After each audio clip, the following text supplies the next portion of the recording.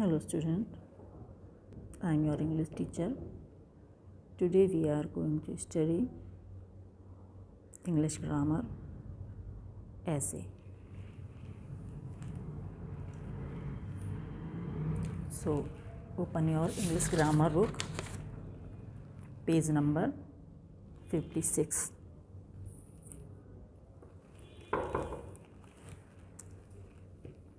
The Taj Mahal.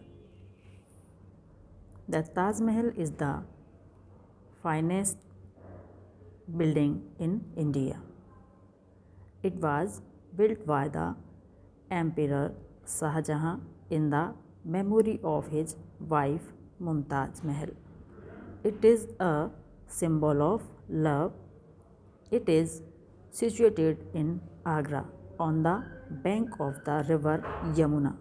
There is a beautiful garden around it. It is made of white marble. There are some precious stones in them.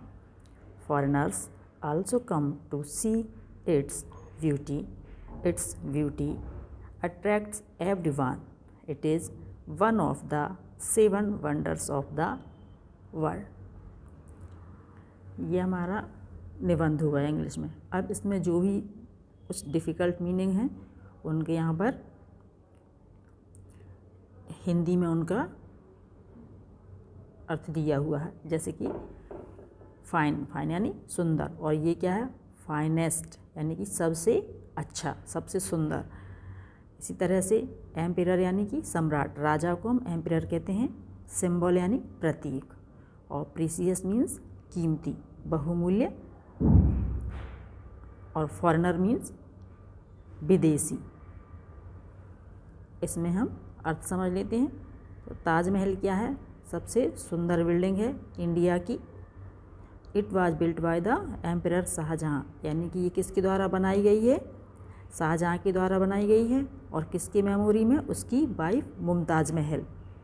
उसके मर जाने के बाद में उसकी याद में उन्होंने ताजमहल का निर्माण करवाया था। अब ये किसका प्रतीक है? प्यार का प्रतीक है। It is situated in Agra ये कहाँ पर स्थित है? आगरा में और bank of the river Yamuna, यानी कि यमुना नदी के किनारे ये स्थित है। There is beautiful garden around in is, ये चारों तरफ़ क्या है? बहुत सुंदर बगीचा है। और जो किससे और ये किससे बना हुआ है? ताजमहल? वाइट मार्बल से। सफ़ेद संगमरमर का बना हुआ है। और यहाँ पर जो बहुत ही कीमती जो पत्थर हैं वो इसमें लगाए गए हैं, यूज़ किए गए हैं। कुछ पत्थर जो हैं बहुत ही कीमती हैं और जो फॉरनर हैं, यानी कि विदेशी हैं, वो इसे देखने के लिए आते हैं। क्या देखने के लिए आते हैं? इसकी सुंदरता, भव्यता, क्योंकि ताजमहल बहुत ही भव्य इमारत है और फॉरनर